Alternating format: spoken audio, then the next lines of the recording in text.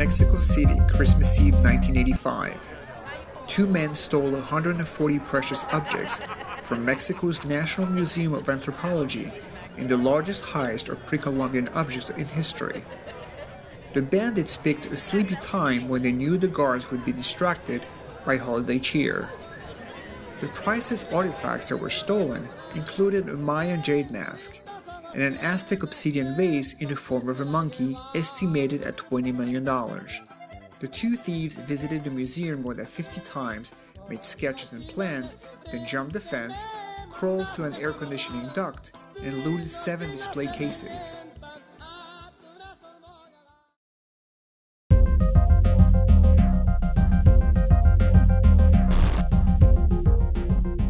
Stockholm, Sweden, December 22, 2000. Armed thieves steal $30 million worth of masterpieces by Renoir and Rembrandt from the Stockholm National Museum. While a gunman with a semi automatic weapon terrorizes the museum, his accomplice grabs two Renoirs, a young Parisian, and conversation with the gardener, as well as a self portrait by Rembrandt. Since the museum was near the water, the thieves got away using a speedboat, which was later found.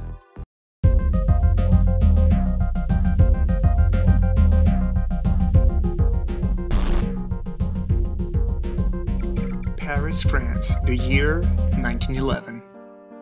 Ironically, Leonardo da Vinci's Mona Lisa wasn't very well known until it was stolen. On August 21, 1911, three Italian handymen hid in a supply closet overnight in order to sneak into the museum and steal the Mona Lisa. The group's leader, Vincenzo Peruggia, was the man who had installed the protective glass over the Mona Lisa in the first place. It took more than 24 hours for anyone to notice the missing painting. Since the heist was all over the news, Peruggia couldn't sell it right away and hid it in the false bottom of a trunk in his Paris boarding house for two years. Two years later, Peruggia tried to sell the painting to an art dealer in Florence, who tipped off the police. After much fanfare, the painting was returned to the Louvre, more famous than ever.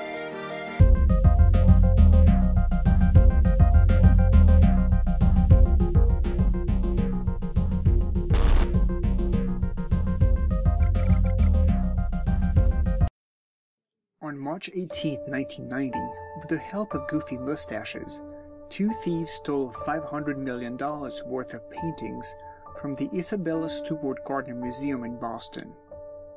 Wearing a Boston police disguise, the thieves told the guards they were investigating a reported disturbance.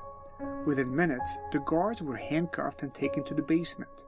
The thieves secured them to pipes and duct taped their hands, feet, and heads. The duo made up with a dazzling collection that included works by Rembrandt, Degas, Manet, and artifacts dating back to the Shang dynasty.